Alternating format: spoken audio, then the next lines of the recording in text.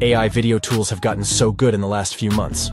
Imagine me walking and talking with amazing camera movements, character consistency, and minimal distortions, just from a single image. If you're wondering who I am, I'm Zach, part of the Zinny Studio team, somewhere in the Middle East. In today's video, Zinny will dive into a range of cutting-edge tools, from Runway ML Gen 3 Alpha to LTX Studio to Kling and more. Trust me, you won't want to miss a single moment of this tutorial.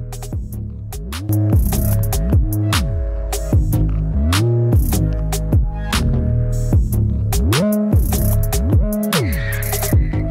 to you, Zinny. The first AI tool we'll be reviewing would be Runway ML Gen 3 Alpha. Once you come to their website and sign up, you'll be welcome to this homepage. Just go ahead and click on Get Started and it opens up to this page.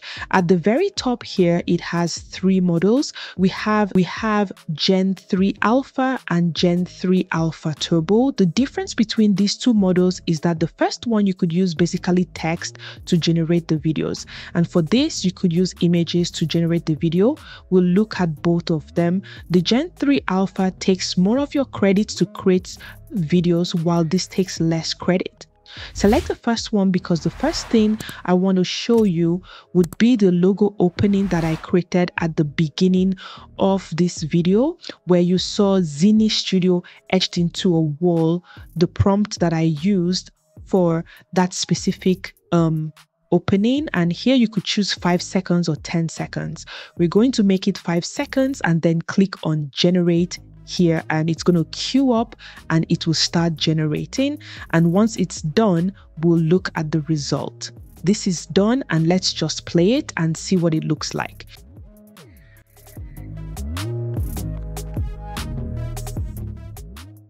This turned out really well, and as you can see, the spelling is really good. Like any other AI tool out there, if you don't like anything, you can always regenerate until you get what you're looking for. Another tip I'm going to give would be you could use the Runway prompt guide for Gen 3 to be able to help you generate more prompts. You can see a couple of keywords they have here depending on what you want to create. You can also use it for text it gives you different keywords you could use, like bold graffiti, and so much more that you could use. I'm going to leave the link to this prompt guide in the description box. The next thing I want to show you would be how to animate the images you have before now using Gen 2.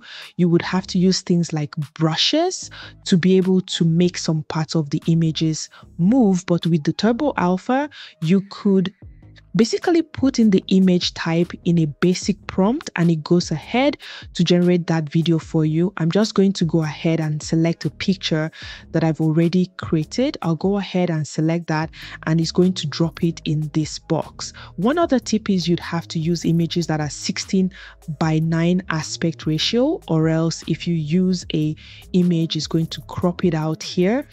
We'll just type in the prompts that we want. We want the cartoon boy to be walking forward, talking and moving hands gently. You can also select either 5 seconds or 10 seconds. Let's just go ahead and generate 10 seconds. This is generated. Let's just play it and see how it behaves. You could see that the character is moving forward and the hands are moving, but the mouth is not moving, they can always generate again. But what I found out is even if you go ahead to do a lip sync on this, it's going to try to move the mouth. But let's just try to generate another one just to see if it's going to give us a moving mouth. But right from the get go, this looks awesome quite good already. The next thing I clicked was lip sync. Runway ML has a lip syncing tool that you could be able to sync your audio with the video that you have created, just like you have seen in a couple of other tools like SyncLab as well as Speaker Art. What you could do here is you can either upload your own audio file if you have that already, or you could record, or you could go ahead and type in a script that you want and choose a voice. As this scenario, I'm just going to type in the one liner to say, if you're wondering who I am, I am Zach part of the Zinny Studio team. And then for the voice here, you're going to click on the voice icon and you get to choose what you want. I'm going to choose young and I'm going to go ahead to choose Frank. And then once you choose the voice you want, you go ahead to choose generate lip sync. What I've noticed is the lip syncing is not as expressive as other lip syncing tools we have seen, but it does a good job lip syncing though. Script or your audio file. We'll go ahead to play it. If you're wondering who I am, I'm Zach, part of the Zinny studio team. This sounds pretty good and the lip syncing is not bad. This is how I was able to create different video scenes and lip synced it using the script I already have to create the intro you saw at the beginning of the video. Gen 3 Alpha seems to do a very good job in my own opinion compared to some other video tools that is currently out there because they tend to glitch a lot, but this seems to maintain its consistency. In case you're wondering how much it costs to use all of this or Runway ML. Generally, you have a free plan that you could try out. It gives you 125 one-time credits you could use and then it has different a monthly or yearly plan which you could explore, but you can always use the free plan to get started. The next AI tool we'll be talking about will be LTX Studio. You just come to the website and sign up. Before now, we used to have a wait list, but right now it's free for everyone to access. Once it brings you to the homepage, it gives you three options to start with an idea. If you want to write a prompt, it's going to use that prompt to build off of what you want to create. Or if you already have an existing script and you want certain characters and stories to be depicted, you could also do this. And then the next is you could start from scratch. LTX Studio gives you an all in one platform to create your storyboard and the images, even to create the videos as well as the voiceover, add music and sound effects. It's a whole package for this particular tutorial. We'll be looking at writing the prompt. Click on write a prompt. I'm going to paste the prompts that I have already generated. Go ahead, click on next. What it's going to do is based on the storyline that it's going to create, it will create characters in association with the particular synopsis that you have presented. As you can see, it presented Jake the child. The kid that wants to be an astronaut, you have Clara, the mom, and you have like a wise old neighbor or mentor. Here by the left hand side, you have different aspect ratios depending on the platform you're creating. But since we are doing YouTube, will be 16 by 9. And then for the video style, it has a plethora of video styles you could check out. We're going to just use the comic book format because I like how that looks. Then here you could go ahead and drag in a reference image that you want to use in terms of the color, the aesthetics, if that's what you want. And then you could manage the intensity of that reference image this is the image that I want to use. Let me just drag it in and then drop it here. What it's going to do is it's going to change the characters that we have here to mimic the style of that reference image. And like I said, you could use this slider to increase the intensity or reduce the intensity of the reference image here. You can see how this looks. One good thing about the LTX Studio is you could go into each of these characters and then make changes to the different appearance, the clothes, the voice, whatever you want, and then the age as well, and then click on the apply the the same goes for all of these characters once you have your character set and you are happy with the way the characters look? You just go ahead to click on start and what is going to do it to start generating a storyboard while this is loading. Um, let me just explain you can see that the first scene depicts Jake lying on the rooftop looking at the star. And as you can see, it said the location, the light, the weather. And then within scene one, it generated one, two, three, four images that you could go ahead and make some changes to. I'll use this as an example to show you how you could make your changes. Click on shot editor. It's going to ask you the prompt if you want to make changes to it and then the close up. Do you like the close up or you want something that is extremely close, mid shot wide and so on depending on what you are creating. And then in terms of the motion you have a frame character and then we are using the natural motion. You could also make changes to the camera control keyframes as well as the scale of the motion the image. Let's look at other scenes that the image generated. This looks cohesive in terms of the color scheme and everything around it. This looks good. The next thing is to double check the voiceover. So we can use one voiceover for the entire video. You click on voiceover and then you click on narrator then you click on the drop down and it gives you different narrators which you could choose based on how they sound. I'm just going to use josh for now and hit apply. It's going to use that voice for the entire duration of the film and then here you could choose a soundtrack. Now we have selected the music that we wanted on the soundtrack and we'll click on apply. It's going to apply sound to all the different images within all the scenes. Uh, there are a couple of ways you could share this, or before then, you could click on preview to see how it looks as a static image. And then, in terms of sharing, you could share it in a couple of ways. Click on share, then click on share report and send it to whoever you want.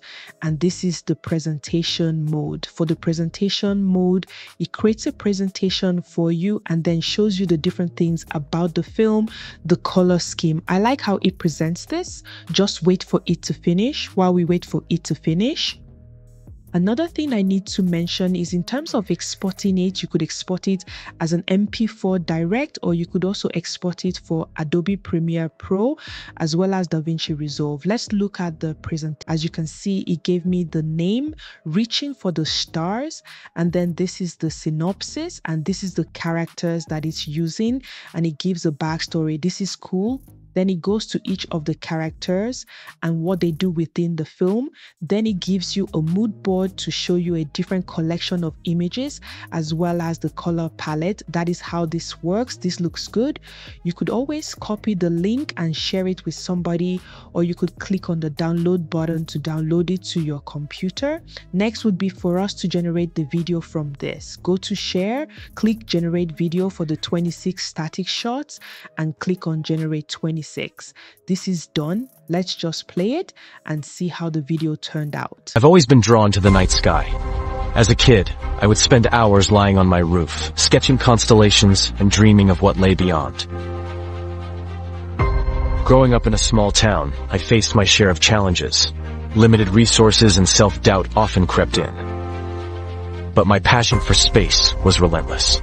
My mom always believed in me, and Mr. Thompson sparked my imagination with stories of the stars. I poured my heart into my studies, and when I got that scholarship, it felt like a dream come true.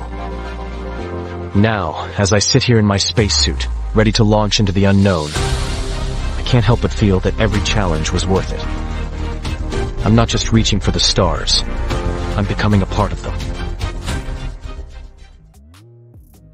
This looks absolutely stunning. Obviously, there are a couple of things that could be improved in terms of upscaling the quality and fine tuning the image. Like I showed you earlier, you could go into any of these shots and make some changes before you go ahead to share.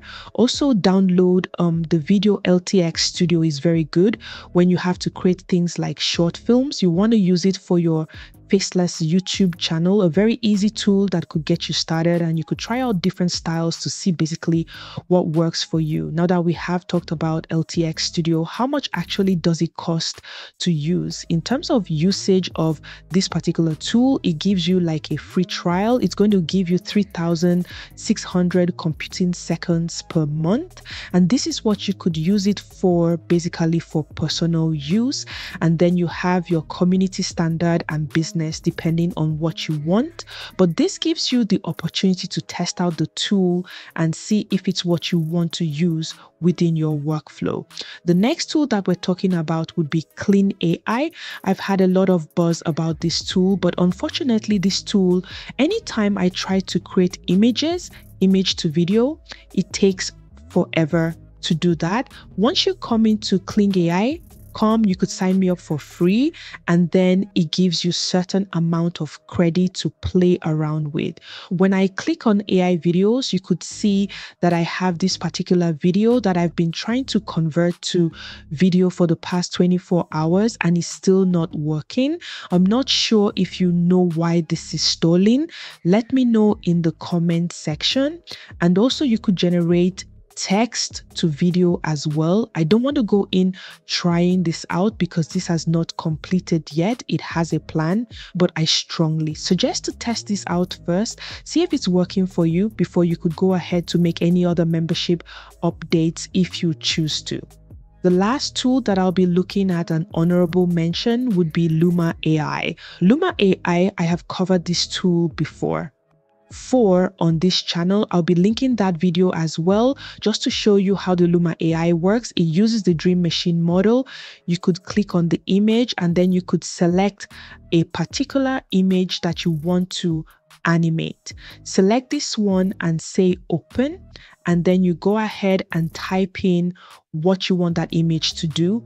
Then you could go ahead to hit enter and it's going to try to admit the image. We're going to compare Luma AI, that's the Dream Machine 1.5. We're going to compare the result or what we had from Runway Gen 3 Alpha and see what stands out or which one is better. This is the result of the video from Luma AI. You could see that this is pretty fast and is a bit glitchy. You might need to go ahead to generate the image again until you get what you are looking for. Based off of all the tools that we have covered today, I believe that we have the video tools required for you to create your faceless YouTube channel. I'll be doing more in-depth tutorial in the subsequent videos to come to create different faceless YouTube channels. So stay tuned for that. But in the meantime, to know how to use Luma AI properly, check out this video where I did an in-depth tutorial about it and I'll see you there.